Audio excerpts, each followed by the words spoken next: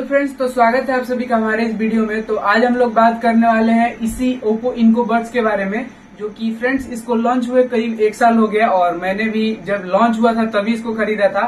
दुर्गा पूजा के सेल में हम, हमने इसको खरीदा था और इसमें उस टाइम के, उस टाइम के हिसाब से इसमें बहुत फीचर दिए थे। और ये पहला ऐसा ईयरफोन था जो कि आपको उस रेंज उस प्राइस के हिसाब से ये 24 घंटे का बैटरी बैकअप दे रहा था। अभी इसका दाम कुछ 1800 के करीब है। सेल वगैरह में आपको 13-1400 में मिल जाता है। मैंने इसको 1100 रुपए में खरीदा था। उस हिसाब से ये बिल्कुल वर्थ है। थोड़ा भी पैसा, आप खरीदने के बाद आपको थोड़ा भी नहीं लगेगा कि आप पैसा वेस्ट किए हैं इस पे। और चलिए इसके ईयर ईयरबड के बारे में बात करते हैं। तो फ्रेंड्स ये लेफ़्ट ईयरबड और ये राइट ईयरबड और यहाँ पर आपको एकदम ग्लॉसी देखने को बिल्ड क्वालिटी देखने को मिल जाता है। और यहाँ पर एक बुरी बात ये है कि आपको ये टाइप सी पोर्ट यहाँ पर देखने को मिल जाता है, जो कि अच्छी बात है, लेकिन इसके साथ कोई चार्जिंग केबल आपको देखने को नहीं मिलता है। जो कि ये बुरी बात है और यहाँ पर आपको ग्लॉसी देखने को मिल जाता है। तो फ्रेंड्स ये आपको प्रीमियम फील देने वाला है। इसमें कोई आपको शक नहीं होगा और यहाँ पर आपको एक लाइट देखने को मिल जाता है जो कि बैटरी इंडिकेटर है। ये ऐसा इंडिकेटर बहुत ही सारे ईयरफोन में होता है। फ्रेंड्स ये एक लाइट की वजह से आपको थोड़ा सा प्रीमियम फील आता है। देखिए, जैसे अभी इसका, इस केस का फुल बैटरी चार्ज है। तो ये ग्रीन जलता है। अगर इसका बैटरी लो है तो ऑरेंज जलेगा और अगर इसको आप चाहे, इसमें डालिएगा, अगर इसका बर्ड का बैटरी लो होगा तो ये रेड जलेगा। लेकिन देखिए फ्रेंड्स ये बैटरी इसका भी फुल है, इसीलिए यहाँ पर ग्रीन जल रहा है।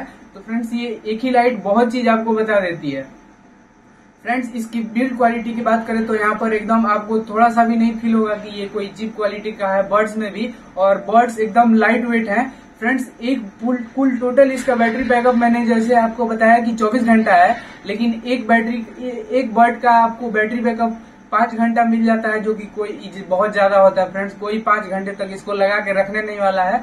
और ये एकदम लाइट वेट है सॉफ्ट एकदम कॉटन की तरह सॉफ्ट है। अगर इसको आप ऐसे कान में लगा लीजिएगा तो ये हिल, हिल गिरने वाला नहीं है फ्रेंड्स वायर वाला नहीं है तो friend T W S T W S है तो इसमें खोने का तो चांस बना ही रहता है। लेकिन फ्रेंड्स आप इसके फीचर के बारे में बात करते हैं तो फ्रेंड्स इसमें आपको एक अलग से गेमिंग मोड देखने को मिल जाता है। यहाँ पर टच कंट्रोल आपको देखने को मिल जाता है, जो कि अब लगभग सभी में आने लगा है।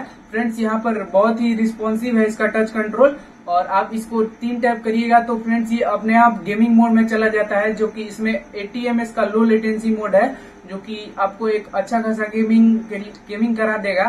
फ्रेंड्स लेटेंसी वो आपको बहुत अच्छा आपको लेना हो तो आप वायर्ड ईयरफोन देखिएगा, क्योंकि ये ईयरफोन केवल टी डब्ल्यू एस ईयरफोन में लेटेंसी का इशू ज़्यादा होता है।